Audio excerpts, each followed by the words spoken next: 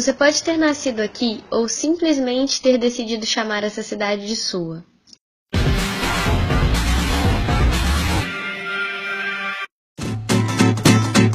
De qualquer forma, existem certas coisas que fazem o juiz forano ser quem ele é. Como, por exemplo, marcar o encontro no pirulito do Parque Alfred, que vai cortar caminho por uma galeria e acabar se perdendo chamar a Avenida Itamar Franco de Independência, porque afinal essa é a denominação correta.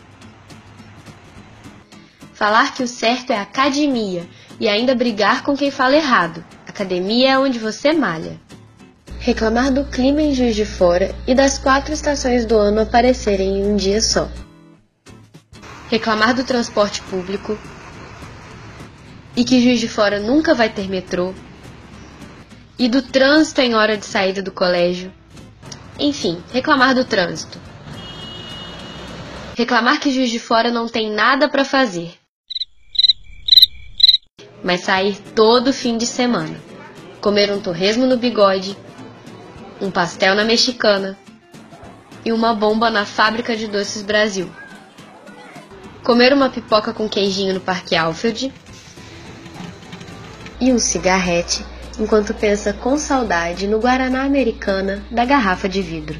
Torcer por times do Rio de Janeiro, sentir um alívio quando a TV regional começou a transmitir o Campeonato Carioca e ainda assim guardar um lugar no coração para vibrar com as vitórias do Tupi. Descobrir que Juiz de Fora tem um centro histórico, saber que a primeira hidrelétrica do Brasil está em Juiz de Fora e sentir orgulho disso. Saber que o painel e os cavalinhos do edifício Clube Juiz de Fora são do Portinari e sentir orgulho disso. Saber que Juiz de Fora já foi a Manchester Mineira e sentir orgulho disso. Falar com orgulho que Juiz de Fora é a princesa de Minas.